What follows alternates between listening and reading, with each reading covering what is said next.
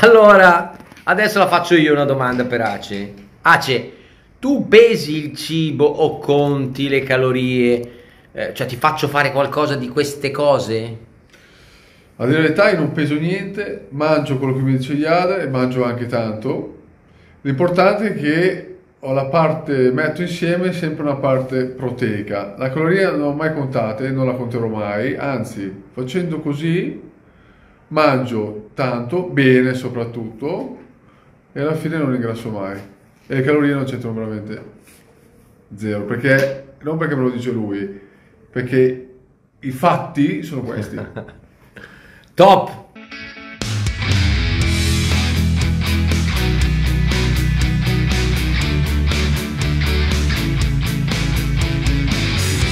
Come dice Ace, il grande leone, eh, che ormai è diventato anche un tecnico della nutrizione, ne sa veramente tanto, è uno dei miei atleti storici più esperti di nutrizione che ho avuto nel, nel, nella mia professionale lavorativa di 22 anni, sa benissimo che io non faccio pesare nulla e non faccio conteggiare le calorie. Non lo faccio con gli atleti professionisti anche perché non avrebbero la possibilità di farlo, soprattutto atleti di endurance atleti di questo livello, ma eh, non lo faccio nemmeno con la signora Maria che deve magari dimagrire. Perché? Perché il pesare il cibo e calcolare le calorie è una tecnica dietetica che io fondamentalmente nella pratica quotidiana faccio fatica a mettere in atto e quindi non la prescrivo. Eh, è una tecnica dietetica eh, la più conosciuta al mondo, la più facile da gestire deficit calorico, quindi tanto entra, io cerco di fare in modo di far uscire un quantitativo maggiore di calorie consumate e teoricamente dovrei avere un calo di peso se voglio dimagrire o altro.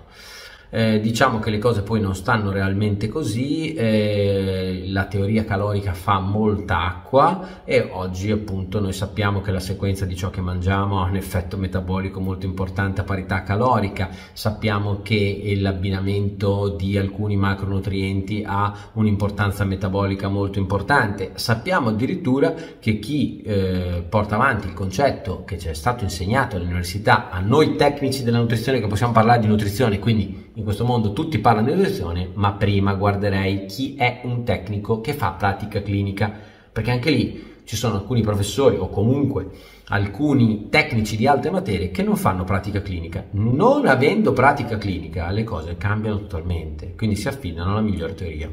E allora magari anche una tecnica dietetica piuttosto che un'altra potrebbe diventare la miglior teoria, poi la pratica clinica in realtà fa scoprire tante cose e anche tante cose diverse dalla miglior teoria. Quindi detto questo, anche il, chi prescrive diete ipocaloriche cosa deve fare? Dopo aver fatto il conteggio matematico eh, calorico, eh, voi sapete che deve anche cercare di ripartire i macronutrienti in una maniera adeguata e quindi anche questo significa che anche chi fa diete ipocaloriche che io rispetto e, stimo perché comunque porta avanti una disciplina in una maniera eh, precisa, al netto del fatto che può prescrivere, quindi è un tecnico e ha i titoli per poterlo fare, lo rispetto. E, però dobbiamo ricordare che lavora sui macronutrienti, quindi anche lui si affiderà alla qualità, perché sa benissimo che i macronutrienti devono essere ripartiti per ottenere dei risultati, perché se no non si potrebbe mangiare eh, se il mio fabbisogno calorico è 2500 calorie solo di un macronutriente, perché probabilmente non otterrei quello che appunto è stato progettato per la mia dieta specifica e quindi devono essere ripartiti i nutrienti. Allora a quel punto io personalmente nella mia professione da 22 anni con oltre 150.000 visite fatte, eh, ho scelto di fare un'altra strada e basarmi semplicemente sul cosa si mangia, come lo si mangia e quando lo si mangia.